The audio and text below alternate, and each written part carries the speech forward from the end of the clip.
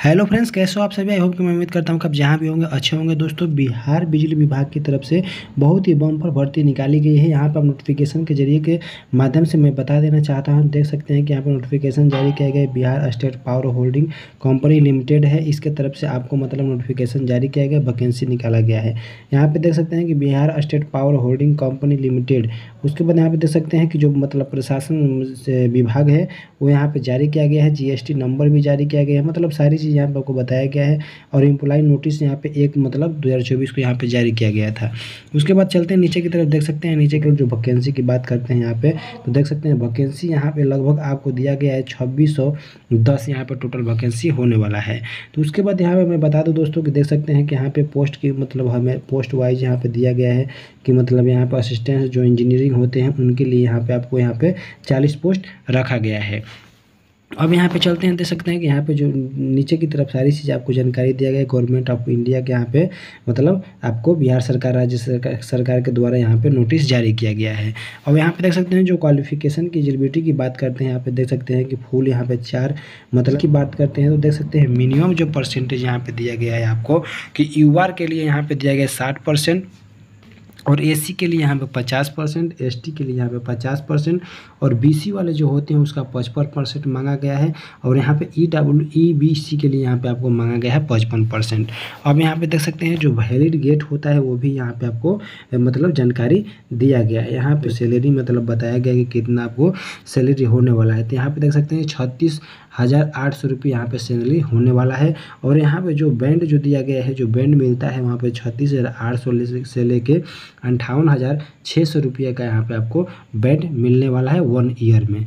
उसके बाद दोस्तों यहाँ पे देख सकते हैं कि जो नीचे बताया गया एज की बात करते हैं तो जो एज काउंट होगा दोस्तों, यहाँ पे इकतीस तीन दो हज़ार चौबीस से एज काउंट होने वाला है।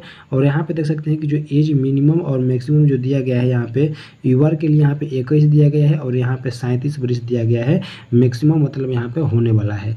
और एस सी के लिए यहाँ पे बात करते हैं, देख सकते हैं एस के लिए इक्कीस से बयालीस तक यहाँ पे एज रखा गया है और एसटी के लिए यहाँ पे इक्कीस से बयालीस और ई e के लिए इक्कीस से चालीस वर्ष का रखा गया है और बीसी के लिए इक्कीस से चालीस वर्ष यहाँ पे रखा गया है। फीमेल के लिए इक्कीस से चालीस रखा गया है यूआर के लिए। अब उसके बाद दोस्तों देख सकते हैं कि नीचे की तरफ़ आएँगे तो यहाँ पे देख सकते हैं रिजर्वेशन भी यहाँ पे आपको दिया गया है। आप जानकारी ले सकते हैं, पढ़ सकते हैं और यहाँ पे दोस्तों देख सकते हैं जो अप्लीकेशन फ़ी की बात करते हैं दोस्तों यहाँ पे देख सकते हैं कि अप्लीकेशन फ़ी पंद्रह लगने वाला है। मतलब पंद्रह आपको यहाँ पे किसको लगने वाला तो यू के लिए और यहाँ पे ई e के लिए।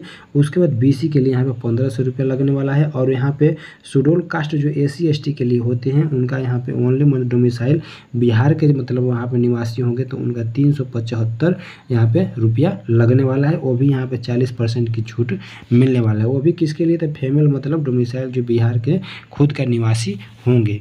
अब यहाँ पे देख सकते हैं कि जो मोड सिलेक्शन होगा, किससे सिलेक्शन होगा तो यहाँ पे देख सकते हैं selection will be done basis यहाँ पे कनेक्ट वैलिड गेट स्कोर के यहाँ पे नाम से आपको किया जाएगा। इंपॉर्टेंट डेट की बात करते हैं दोस्तों तो देख सकते हैं कि जो मतलब जिस दिन से एप्लीकेशन ऑनलाइन होगा, एक चार दो मतलब एक अप्रैल से यहाँ पे आपको चालू होने वाला है।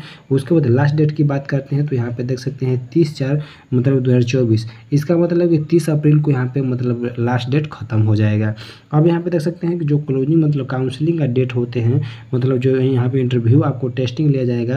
यहाँ पे काउंसलिंग मई या जून में आपको दो में ही करा दिया जाएगा।